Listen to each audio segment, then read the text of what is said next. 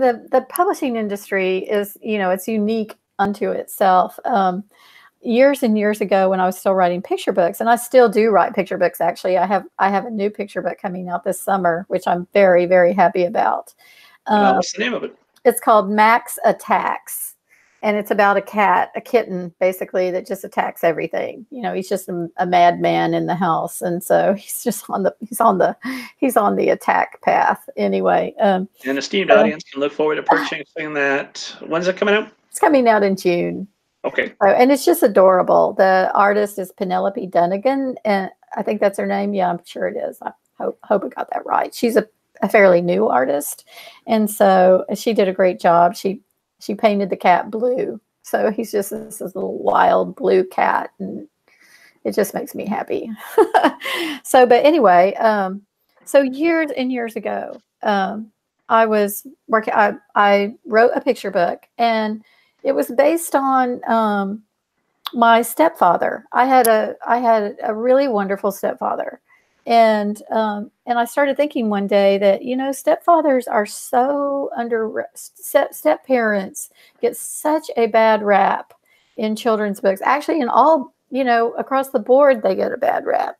Um, and uh, you know, there's always the wicked or evil stepmother or stepfather, and and you know, some of that is deserved. I mean, a trope doesn't become a trope unless it happens. And so, um, but there, there are far more. I'm convinced. I'm quietly I thinking I can name at least five terrible step parents I know of, but go on. well, they're out there. I'm not denying it, but there are also some really great step parents. You know, some that are doing great by their stepchildren, and and I had a I had a a, a pretty good stepfather, and so you know, and and one of the things he did to win us over was he had the best stories. He was just a great storyteller. And so, you know, we'd sit at, at, in the evenings, we'd have dinner and he'd just launch into a story and it was always funny and he was great at telling them. And, um, and if you can imagine it, he married my mother. I have two sisters. He married my mother. I was 16. My sisters were 14 and 13. So imagine he was a lifelong bachelor, marrying a woman with three teenage daughters. I think that was really brave. yeah, I don't think I've ever known that bravery in my entire life. no, I, have never been that brave.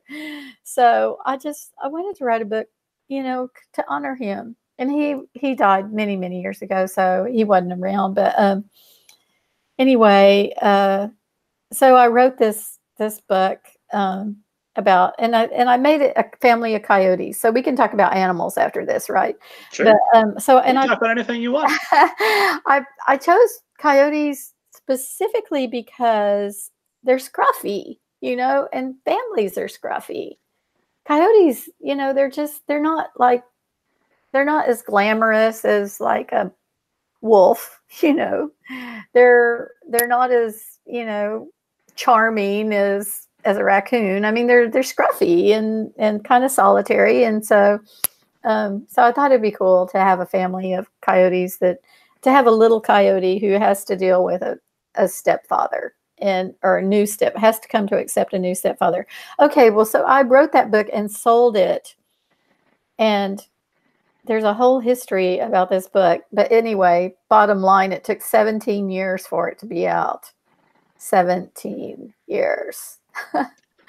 because of something you wanted to do, or because of the publishers? It, it was just a variety of things. It was like unfortunate events that kept happening. You know, the wrong illustrator, then an illustrator kept it, then the publishing company got bought up by another publishing company. The editor left, a new editor came in, she left. I mean, it's just like one thing after another.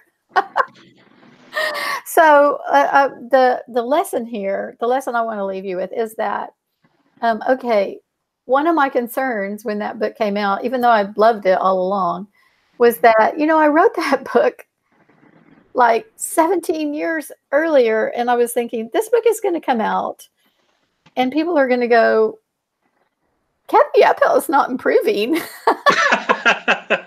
you know, this reads like it's 17 years worse yeah, than her previous yeah. book. Like she could have written this way back in the day, but what? you know, as, as, it turned out, the book was fine. It's called uh, it's called uh, when when Otis courted Mama, and um, Harcourt Harcourt um, published it, and it's it's just a terrific you know, uh, I mean, the, the art is beautiful and I just, you know, it turned out great. It was worth waiting for. But, you know, I, I had a joke that when that book comes out, I'm going to give it, I'm going to hand it its high school diploma.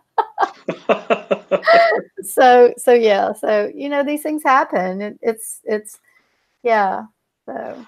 Of course, publishing is a wonderful industry, and I'm sure you're the only author that ever had a story like no, that. But just in case, there's no. there's somebody out there that's watching or, or hearing this, uh, and they're they're experiencing some sort of calamity or another as, as a result of circumstances beyond their control.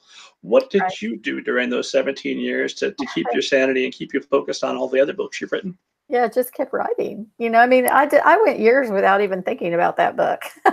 I mean, it was always in the back burner. At one time, my agent tried to get the rights back. You know, she thought maybe we could sell it to somebody else, but um, they, the publisher Harcourt, didn't want to let them go. So, um, so that you know, that was that was actually encouraging because I thought, well, if they're not going to let them go, then surely they're eventually going to publish it. So, but you know, it just kept falling on one desk after another, and so, um, so yeah, I was I was very happy to see it come out. So yeah, so I mean, it happened